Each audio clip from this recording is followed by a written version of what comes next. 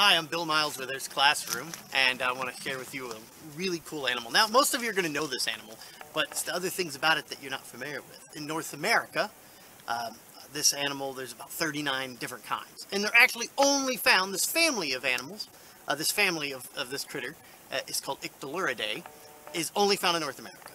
In Missouri, we've got 15 different kinds, plus one introduced one, so 16. And uh, a lot of you are familiar with about five of them.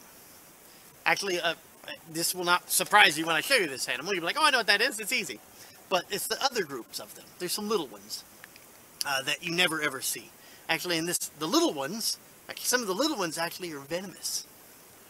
They have a venomous, uh, a way to actually like poke you and inject the venom. Now, the one I'm going to show you doesn't, uh, but you don't want to get poked by it either. Uh, and you'll see what I mean.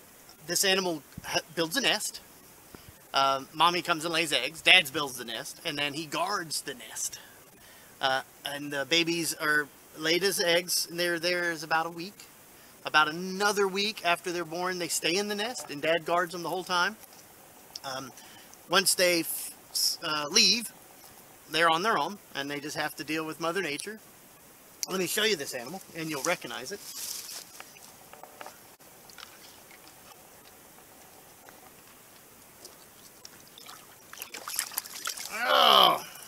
There we go.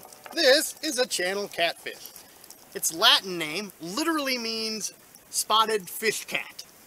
It gets its name spotted because typically they have little splotches, and you can maybe see a few dark little spots. This is a game fish caught throughout the state.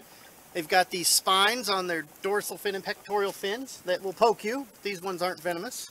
A couple of distinctive features. It has a very forked tail. It has this weird little adipose fin. It's like an earlobe.